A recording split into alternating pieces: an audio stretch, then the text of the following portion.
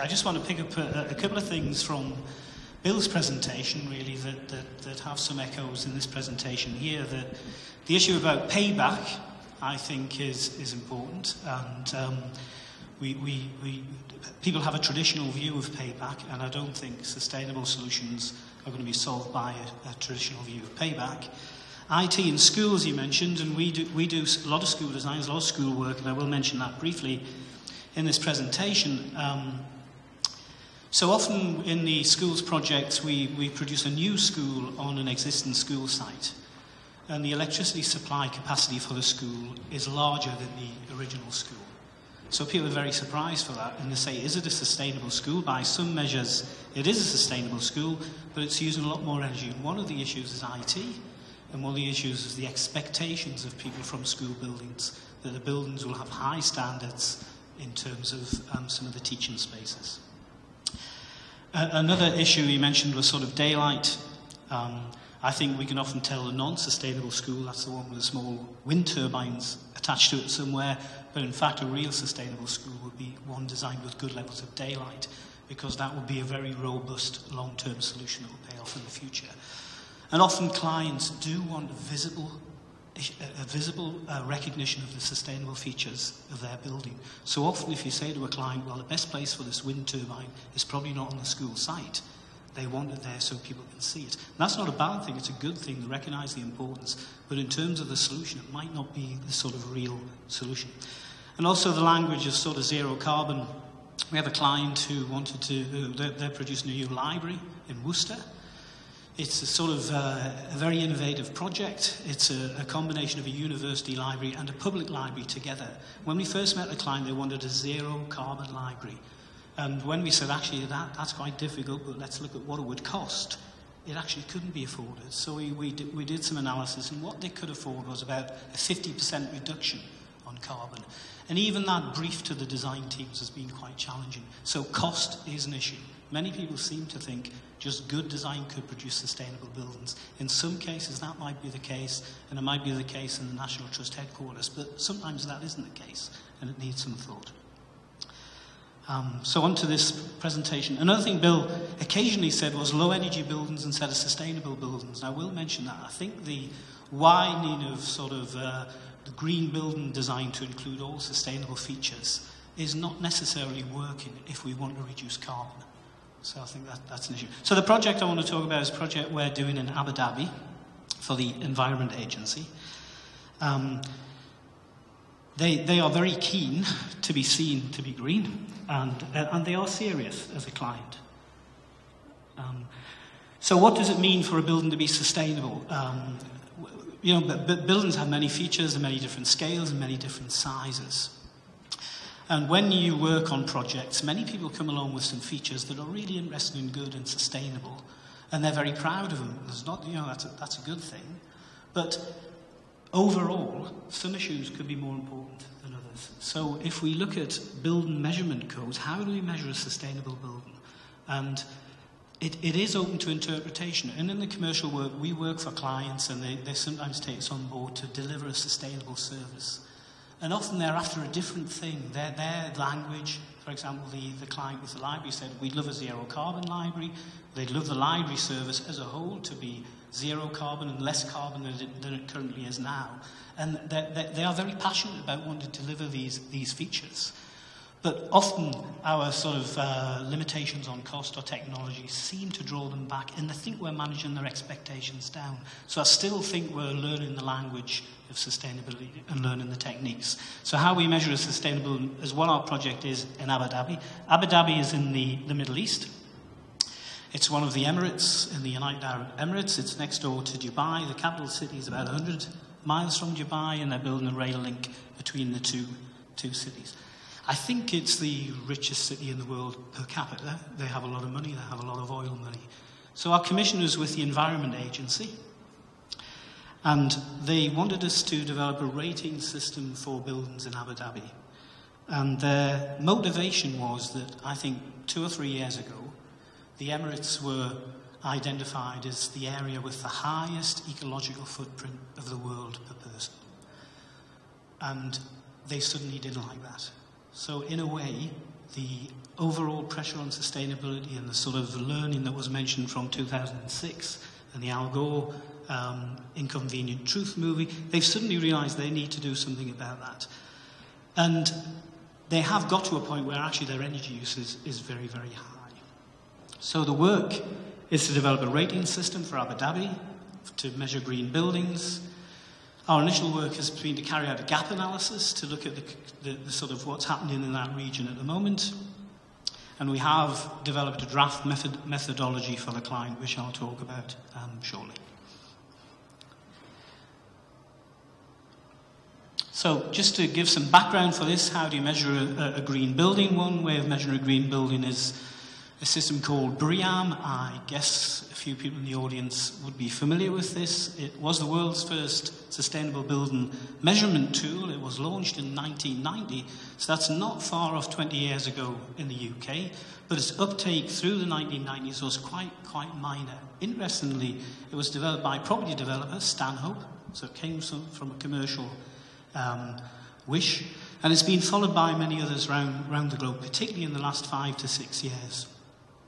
But I think there are some potential weaknesses in using this as our only approach to measuring sustainable buildings and as a benchmark for a sustainable building. Um, okay, so looking briefly at BREEAM, it is just a measurement tool if you're not familiar, and has a set of criteria, and it's a diet of aspects of design and site location that you can't negotiate. So if you're building a building in Newcastle, an office building, and you're going to use a BREEAM measurement tool, which many people do. I think, I think all our projects actually have a BREEAM assessment on them in the office at the moment. It's very, very common now. This set of criteria is not particularly negotiable. So you measure a building for its sustainability features. It's very understandable, and that's why it's popular, and it's fairly easy to use. And you score credits in each of these categories. So if we look at this, energy is worth 15% of the tool. So if you produced a zero carbon building, you would score 15% within this tool. And there are credits for transport, water, materials use, land use and ecology, management, health and well-being, and pollution. So you add up the scores and you get a rating for the building. The best rating is called excellent. So many clients would love to have their building as an excellent rating, which is a good aspiration. And many new buildings are excellent, and the BRE are thinking of including another rating called outstanding above that. So there's a bit of grade inflation, which will be familiar to people from the university. So that, that there is something there that's useful, but there is a disadvantage with this. These weightings have been decided by the BRE in conjunction with an industry steering group. But I don't know how you choose which is more important here in terms of health and well-being or energy. But that's not a negotiable position.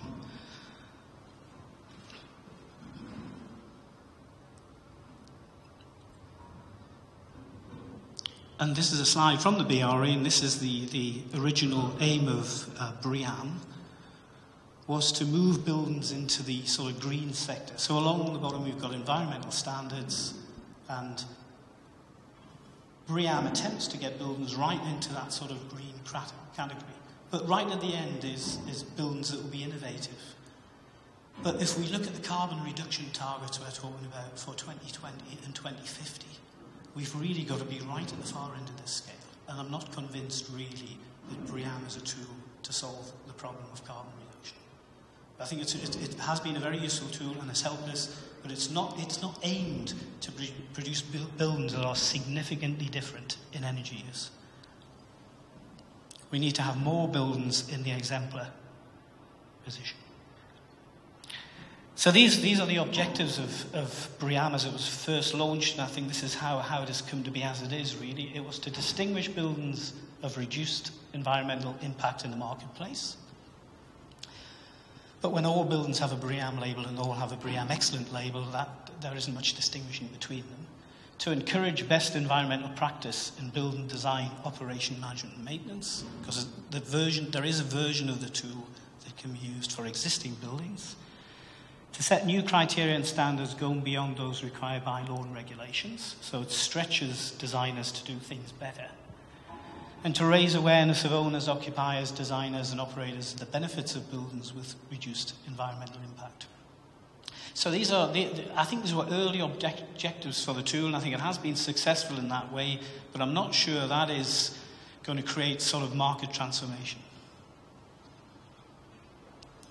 So in terms of our work for Abu Dhabi, we've looked at these codes as they've developed throughout the, the globe, really. Um, so BREEAM, as I said, was a 1990 tool. Um, LEED uh, followed very much in a similar form to BREEAM, really, in the USA, uh, developed between 1998 and 2000.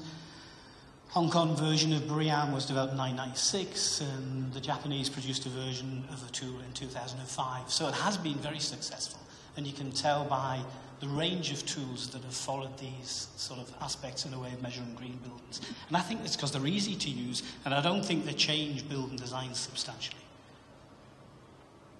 So they have some, we looked at all these tools and they have some common elements. They all have performance targets. They all have an assessment framework, so there's an assessor. It's a fairly, so some people say it's a ticky box approach, but you know, I, don't, I think that's fair enough if the box is ticked because you've done something good. But it is fairly restricted in a fixed diet. Um, methodology, they're always linked to some other local standards. So in the UK, currently BREEAM is linked to the building regulations on carbon performance, so they're always linked to an existing set of standards. And that was important for us in Abu Dhabi because we needed to know what the existing building standards were in Abu Dhabi. And there aren't many building standards, and there aren't really standards on energy. So any tool had to recognise that, that, that it would be launched in a construction and design environment that's very different to the UK. They're all evolving over time, so they're all changing, and none of them are mandatory.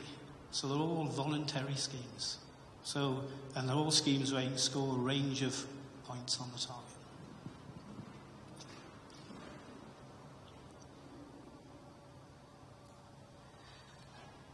So when we talked to the client in Abu Dhabi, they really wanted to have market transformation, and we looked at some some sort of costs of BREEAM from our own information, really internally. The assessment process itself is not expensive. So, on a, a school project, a BREEAM assessment might be £10,000 or £15,000 or sometimes less. There's fairly commercial market in offering BREEAM assessments. The assessment process itself um, is not, not a big deal for most projects. In terms of pro providing a building with a very good or an excellent score, it can be 1 to 2% of the capital cost. Um, but I think these figures are based on a period when BREEAM wasn't linked to the building regulations in carbon. I think the, the linking of the energy credits in BREEAM to the UK's uh, new carbon regulations has perhaps altered that slightly. And the capital cost um, issue also relates to the site location. And if you're very close to a transport hub, then you get a lot of credits in BREEAM for, for that, and it really, really isn't a capital cost for the project. Hong Kong Beam claims that they've had a 25 to 40% improvement in energy performance in Hong Kong since the introduction of Hong Kong Beam. But that's information from the people who produced the scheme, so uh, uh, you know that probably is thereabouts, but uh, there could be other reasons and factors for that. So going back to the point Bill said about low energy buildings. This, this, is a page from Building Services Journal from, I think, nearly 20 years ago. And this is a low energy healthcare building in Sheffield. It's designed by uh, architects Brenda and Robert Vale. It was interesting to look at back. The reason I was looking at this, we were doing some work for the NHS on their version of BREEAM, which is called NEAT, but it's just BREEAM by another name, really. And it's, it's a tool like BREEAM that has uh, credits for um, materials, energy use, transport, use of art in the building. None of these things are sort of unimportant. But this building 20 years ago is better in terms of energy terms than many new healthcare buildings that score an excellent in the NEAT tool. And this is because this, wasn't, this isn't, in this article, a sustainable building. It's just a low energy building. And the target for a low energy building is quite clear for engineers and architects what you're aiming for. And within BREEAM, in commercial terms, people want to know how much the credits cost. So you've got a diet of credits. People are trying to design it to say, how much is this credit? People go for the cheapest credits. I mean, it, that is what happens. Some people say it's not a holistic approach, but that is what happens. But what interests me about this is this was aimed to be a low energy building. And if you went for a low energy building, it's clear what the target is, it's clear what the measurable outcome of the building is. Um, interestingly, this is a direct client and architect relationship. So I think the client, you mentioned the client, Bill, the client was very much on board to, to achieve this. I don't think you can achieve it on your own as a designer, and clients are definitely the key. So the other thing that, that New Abu Dhabi want to create market transformation. So we, we, mentioned schools, and we've had a lot of new schools being built. And there was a report last summer, House of Commons, Sustainable Schools, Are We Building Schools for the Future? And I think, I hesitate to say it's lazy, but I think in a, in a brief for a new building to say what we're doing about sustainability, well, let's just have a BREEAM excellent building, is quite an easy line to, to write. And it doesn't take much sort of effort on the client side. And what happened here is that many new schools have a BREEAM excellent label as their sustainable badge. But this report said, and it's true, BREEAM excellent can be achieved with a relatively minor improvement in carbon reduction. So you can build a school, you can just about meet the building regulations minimum carbon targets and still have an excellent school. So that wouldn't help us if really we wanted to do something about carbon. Because we're building a lot of schools and they're going to be here for 60 years, hopefully, and it's a big bit of the estate. So the schools program is a great opportunity for the UK to get some technology into the uh, construction and property professions through all these schools. So um, it's fairly obvious, as point being made by many people, but this report said actually perhaps they should say within the um, brief that you must get a certain amount of credits in the energy section. So if you remember, energy was worth 15%. You say to the, to the design team, you need to get at least 10% of those 15% credits, 10 of the 15 credits. Um, this wasn't news to us really, but seemed to be news to, to quite a lot of people. So it brings me back to the payback story. So we were, we were working for a school um, not too far from here, really, with the client. And they initially wanted a zero carbon school or a carbon neutral school because it's a great sort of badge. And um, we said actually biomass is certainly to be put on the table as, as a potential solution. So I said, could you work out payback period for biomass to Bill, Bill's point? So we said, well, well, the school would, a new secondary school will cost around about 25 million pounds to build, so that depends on the size of it. And we said, if we want to go to biomass, it will probably cost something in the order of £300,000 more in terms of the M&E services. So there's additional there. And then it will cost you more to run the school because the cost of running the school with biomass could be more expensive depending on the fuel choice. So they were expecting as with PV, that there's always a payback, but there isn't necessarily always a payback. And that led them on to look at the grants. And the grant procedure is quite slow and involved when you're trying to do other things. But what's interesting, their perception was everything would have a payback. The payback on biomass is carbon, but there's no real cost for carbon in the UK. But there is in Abu Dhabi, because Abu Dhabi is a developing country and can get carbon credits from the World Bank. So that's different to the UK.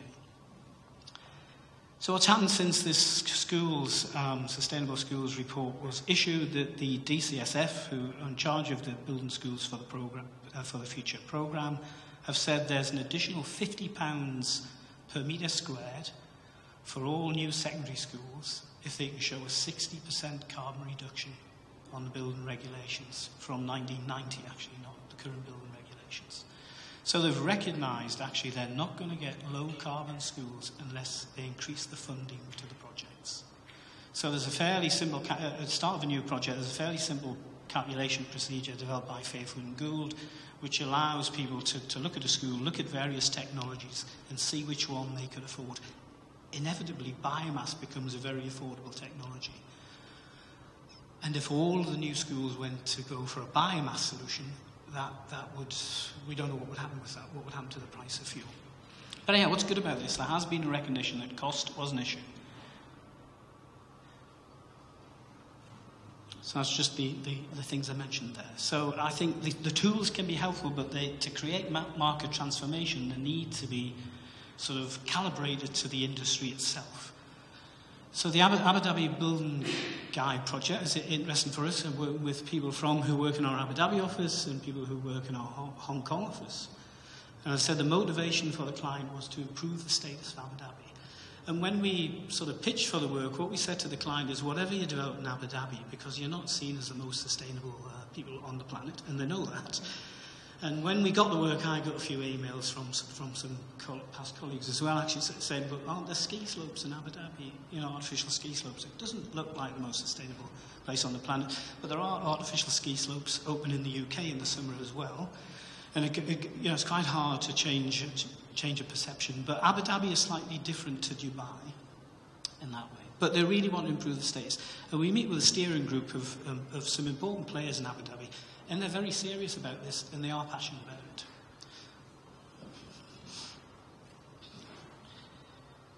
Okay, so this is, this is the, the waterfront in Abu Dhabi. Um, and this, well, I don't know if you have any perception of Abu Dhabi at all, but people who, who do, this is the, the perception of Abu Dhabi. A lot of high-rise buildings there, a lot of sort of international architecture. And I think for a country that, that was not very well off in the 1960s and suffered severe hardship uh, when sort of artificial pearls were produced by Japan. That was, you know, the fishing area, really. That, that's where they got the money. So they went through hardship. So there's still people there of the older generation who can remember very hard times. I think they've followed a Western idea of what to do with the money and what their wealth should mean. One of the steering group guys, an old guy, said to me actually, he says, oh, these new buildings we're building, Gordon, actually, if we lose our electricity supply, people will die inside them because it's so hot. And the buildings we used to have 50 years ago, that wouldn't be. So, I, but, but, you know, can, can it build in that old style? I think that's very difficult. And it doesn't all look like high rise sort of corporate offices and hotels. This is just a view from our office in Abu Dhabi. It's a school and some residential accommodation. And this is more designed in, in terms of the climate, in terms of Abu Dhabi. And the school playing area is fairly shaded, it's quite deep, it's ventilated, it's probably cooled, actually, I don't know. But, and there's some residential just at the top of the picture. And I first went to Abu Dhabi in February, and it's quite cool, and quite cool at night. And one of our guys lives in those sort of three story flats at the back. He told me in the summer, actually, when he walks into work just round that corner, he has to have a spare suit at work to change into. I said, Why is that? It's just so hot and humid. And I went back in May, and it is that hot. It's sort of between 45 and 50 degrees C, and the humidity is very, very high. So it has a very variable climate. Um, and very humid in the summer. So one of the things we've put in the guide is and I didn't know about this really till we've worked with our colleagues in that office, is that when we have an air-conditioned building, um, for the engineers amongst you, this will be sort of fairly common knowledge, but we'd have a cooling coil and it will probably produce condensate from the air in the summer as it comes into the building. But there's so much condensate produced in Abu Dhabi that you get a half a litre a second per person in the building occupied, that in fact we're suggesting and it does happen in some of the sort of leading buildings, that that condensate is collected and used as wastewater. And also that condensate is quite cool.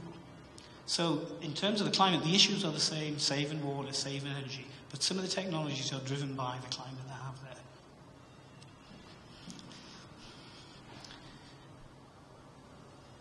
And this is, you know, the built a lot, and this is what they're going to build. And with the oil price where it is, they, they have the funding to build this. So here's sort of a few projects. The, the, one on the far left is a zero carbon city being built in Abu Dhabi by Foster and Partners. And just below it is a sort of shot from a visualization inside. So how can you have a zero carbon sort of building in the Middle East? Well, they have a lot of oil, but they've got an awful lot of sunshine. Daylight factor calculations here are done on a standard overcast sky.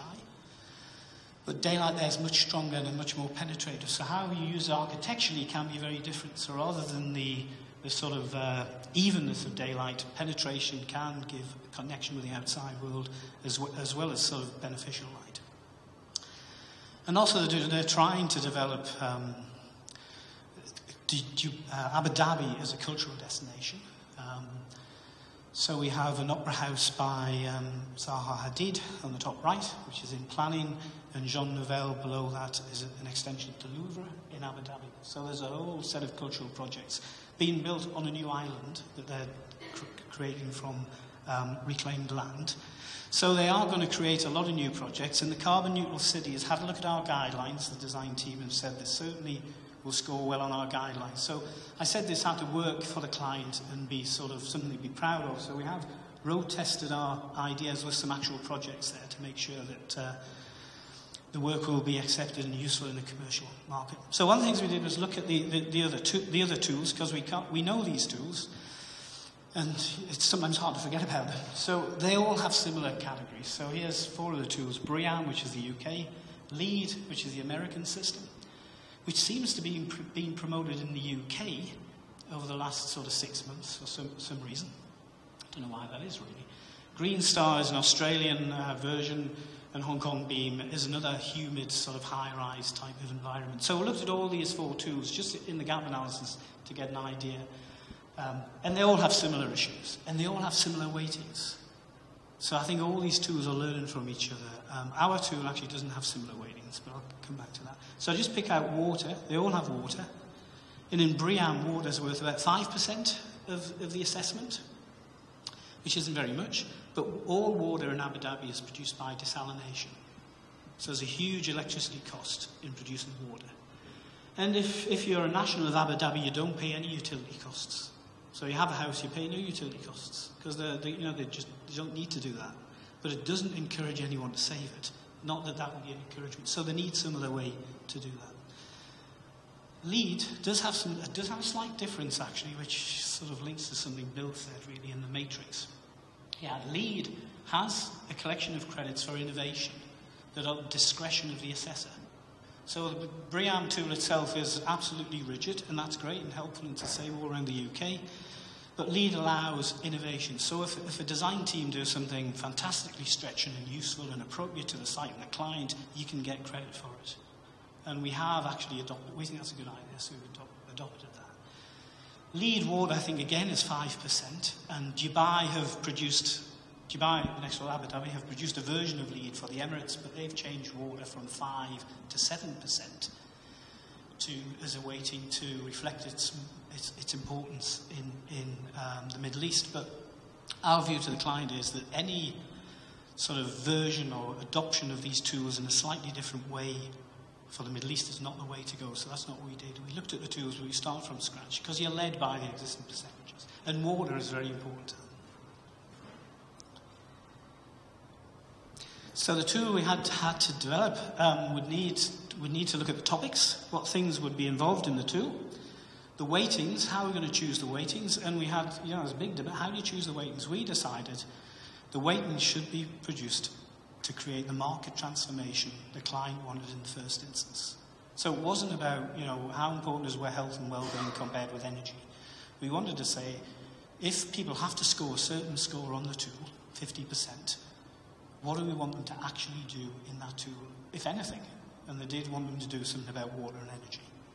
So the tool in the short term, in the first two or three years of its use, we wanted to, it to make people do something to their buildings. And in fact, this tool will be mandatory for all government buildings in, Abu, in Abu Dhabi, and it will be incentivised for commercial buildings. We needed to write some specific credits, and we had to have some compliance procedure for the credits. That if people wanted to go for that credit, what evidence did we need? Because we did advise the client, they did take it up on this, that they should really have credit evidence and they should have a way of compliance. Otherwise, their tool wouldn't stand up to the other two tools that exist. And then it had to have alignment with other decision making tools in use in the region. So there aren't any energy standards in Abu Dhabi. Uh, it's not that the buildings don't have any standards. Not, that's, that's not the way it happens. What it is, you have a lot of international consultants, architects, and engineers working in the region, and they bring their standards to the region. So if they're doing a big build in America, they're probably using American standards, ASHRAE, UK probably using CIBSE standards, Australian engineers using Australian standards. And that's not a bad thing. So they're getting buildings of a certain standard, but they didn't have anything that was Abu Dhabi based. And they're looking at that as well with the BRE in a separate sort of project to look at building regulations for Abu Dhabi. But we couldn't just adopt UK standards because that would be unfortunate for some of the other people working in the. And the other thing is energy prediction techniques. Not many engineers in Abu Dhabi do energy prediction as part of the design process. So the other thing on the steering group is how much more expensive will this cost in terms of design fees and design cost. That was an issue to them as well. So what was happening in Abu Dhabi as we did the gap analysis? Well, over the last sort of 10 months there's been an explosion of sort of interest in an explosion of sort of profile of green buildings. And because the existing systems like LEED exist, people are using the LEED tool. So TDIC is the tour, tourism um, department in Abu Dhabi. They're doing a new office block and they're having it LEED certified. Um, th these LEED doesn't have good, very good, excellent. It has sort of gold, platinum standards, a different sort of calibration. Um, and we had to think about that for, for our tool as well. So they were going for LEED platinum, but they just used the LEED system as it is in the States. So you get credits for cycle shares, you get, and some of those things aren't necessarily appropriate to the region. But very keen to get a LEED and people keen to be, see, to be green and also doing things that are good could only go with the existing tools. Airport expansion, uh, including the control tower, had gone down the BREEAM route. Um, another project going down the LEED route, and Masdar, the carbon neutral city, hadn't gone down any route yet, would probably adopt the code that we're doing, um, which would give it some, some good standing in Abu Dhabi. And across in, in Dubai, the, um, this one out because you, you might, might have heard of the project The World, where they've built lots of reclaimed islands here. They've suddenly gone LEED, but actually they've decided to make some credits mandatory. So when I mentioned that some credits aren't mandatory, um, the, the, version here for the client, and the developer said, we're taking these credits, we're going to make some of them mandatory, a bit like I said about carbon. And interestingly, the ones that done are water. And also about commission and building services. That when we design a building and test it and commission it, hand over, it's important in terms of energy use, but there isn't really an existing service in terms of commissioning services in Abu Dhabi. So one of the things we had to look at, we could easily put a credit in saying all buildings should be air tested, but in fact there's not an air testing service in Abu Dhabi. There'll be nobody who provides the service. So when we looked at these things, it is, the issue is we've got to start from where Abu Dhabi is now and bring along a journey and not start from the same point that we're in. Okay, so these are the issues we've come up with in the tool. So we, and they're sort of fairly generic, um, and they're actually they're very like the BREEAM issues as we went through it. And I say it's hard to get away from things you've already seen. And we have suggested weightings to the client, um, the steering group, and broadly they've accepted our suggestions. And I haven't got them on here because the tool's being launched in May. As the name of the tool, I'm not showing it here either because that's been launched shortly, and how we, we've scored the tool. But the weightings have, have, have we, have got higher weightings for water and energy than they have in BREEAM, for example. Much higher, actually. And the tool follows a very similar format to those existing tools in terms of credits. So in terms of simulation, we've gone for, uh, the, in terms of energy use, we've gone for a simulation methodology that they simulate the building against a set of base standards, and they simulate it again with the actual design and the improvement, which is a sort of methodology we use in the UK for carbon and is used in LEED. Most designers would be familiar with that. But we added they don't have a lot of energy information uh, centrally, so we've added a credit that if they report their energy performance predictions and their actual consumption to a central database in the Environment Agency, they'll get a credit. So we thought it was an opportunity to try and draw some information over, over time. So it's slightly different in the UK, but not, not, not significantly different. So summary is that um, in terms of uh, sustainability and buildings, we're living with resource constraint in many ways, and it seems the first one that's sort of got real public attention uh, worldwide really is, is global warming and carbon, and that's just the resource constraint in the atmosphere. But we are living with a resource constraint in many other ways in terms of materials and increasingly things like food. So I think as we go through the next sort of 20 years, resource constraint is an issue we have to deal with, and different issues will come to the table at different times. But do we need to react to issues? We're reacting to the issue of carbon, uh, quite rightly, but I don't think we're going very, very far fast. Um, sustainability encompasses a wide range of issues, which is great, but sometimes there's a bit of a weakness in terms of a BREEAM tool where people score credits in all areas. I didn't say we are making some credits mandatory in our tool. Um, building codes will provide a focus. So these codes will provide a focus, but they need to be very stretching to move as quickly, and I don't think generally they are, they are at the moment. And the importance of issues may not be the same. The importance of water, which I'll pick out for Abu Dhabi, is much more important there over time than it is in the UK, I think. Um, okay. Thank you.